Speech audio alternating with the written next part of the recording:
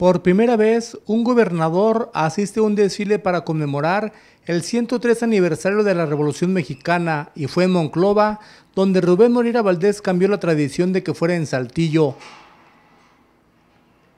En un desfile lleno de alegría y colorido participaron 3.000 personas en 42 contingentes y 17 carros alegóricos. Para y me dio muchísimo gusto, creo que igual que ustedes, ver desfilar a las niñas y a los niños, a las jovencitas y a los jovencitos por las calles de Monclova. Porque esto significa varias cosas. La primera es el amor que le tienen a nuestras tradiciones y a nuestra historia. Hoy conmemoramos un aniversario más de la Revolución Mexicana. Lo segundo, que creo que es bien importante, es que desfilaron por las calles de la ciudad.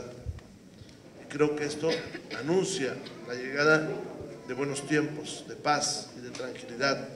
Tiempos por los que hemos luchado todos, tiempos que anhelamos, tiempos que vimos lejos hace unos cuantos meses. Desde la ciudad de Monclova, con la cámara de Carlos Hernández, para RCG informó Eduardo Hernández.